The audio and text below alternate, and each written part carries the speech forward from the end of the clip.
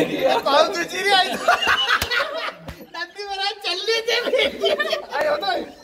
guys welcome back to my new blog दोस्तों आज मैं सुबह सुबह रनिंग करके माता जी के पास आया था डिनोने टिकरी ये हमारे गाँव से पाँच किलोमीटर दूर है। हेलो गाइस तो हमारे गाँव पटाड़ी में ये शंकर भगवान का मंदिर है। यहाँ पे ये नंदी महाराज चम्मच से उनको पानी पिला रहे थे वो पानी पी रहे हैं। ये वीडियो देखना आप अभी मैं बताऊँगा आपको। सीधा सीधा रखो एकदम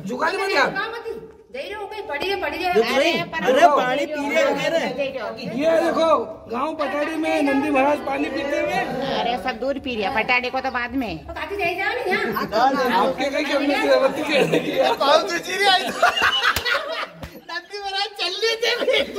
आए होता है।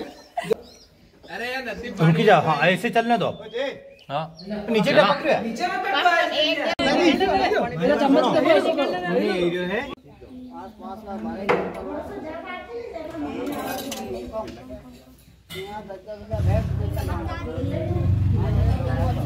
है।